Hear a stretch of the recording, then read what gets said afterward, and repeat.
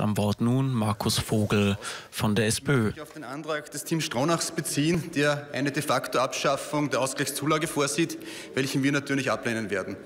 Äh, Argumentation ist, dass Menschen in unserem Land, die aufgrund irgendwelcher Erwerbsbiografien leider nicht in der Lage sind, eine ausreichend hohe Eigenpension zu erreichen, durch das Sozialversicherungssystem eine Ausgleichszulage erhalten. Und die ist für Einzelpersonen 882,78 Euro im Monat, 14 Mal im Jahr für Familien 1323 Euro. Und das wollen Sie abschaffen mit dem Argument sozusagen, äh, da gibt es Menschen, die planen sozusagen darauf hin, dass sie irgendwann einmal eine Ausgleichszulage bekommen. Die planen, dass sie bei den Kindern zu Hause sind, die planen, dass sie Teilzeit arbeiten, damit sie dann in den Genuss einer solchen Ausgleichszulage kommen. Und natürlich haben Sie recht.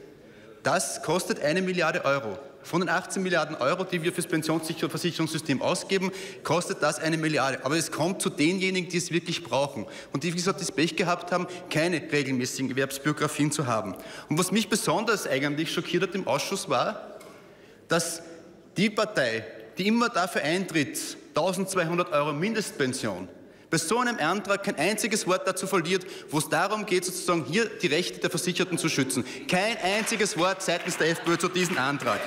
Und, und darum auch einmal zum Unterschied. Das heißt, Unterschied Team Stronach heißt, statt Versicherungsleistung Sozialleistung. Unsere Antwort darauf ist, und wir haben es eindrucksvoll bewiesen als Koalition SP und ÖVP gemeinsam, wir haben die Ausgleichszulage erhöht auf 1000 Euro für Menschen, die 30 Jahre in Beschäftigung sind und wir haben es geschafft, die Anrechnung der Kindererziehungszeiten vernünftig zu gestalten, sodass es von Haus aus hoffentlich gar nicht zu solchen niedrigen Eigenpensionen kommen kann.